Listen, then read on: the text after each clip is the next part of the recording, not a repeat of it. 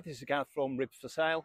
Just a quick uh, video to introduce this cracking little Selva D500 Evo rib fitted with a Selva F70 XSR engine. So it's a wonderful little package. So without further ado, I'm just going to spin the camera around and walk over in a bit more detail. Hold on. Okay, so here we are at the aft of the boat.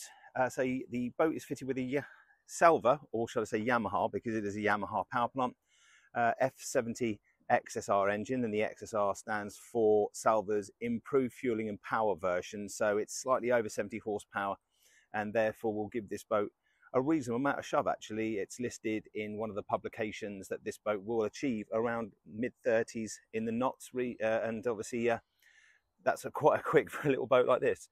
Uh, the layout comprises of a rear bench, takes about three people across there, uh, pilot being over onto the starboard side a great little console featuring a DV45 Garmin plotter and depth, v, uh, VHF 100 um, Garmin, switch panel for your lighting systems, um, bilge pump, 703 side mount control from the Yamaha. She has mechanical steering.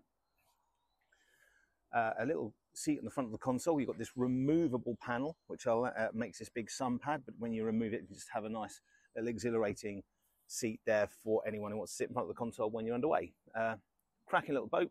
Any questions, don't hesitate to give us a call. Number in the office, as always, is 02 392 397 000.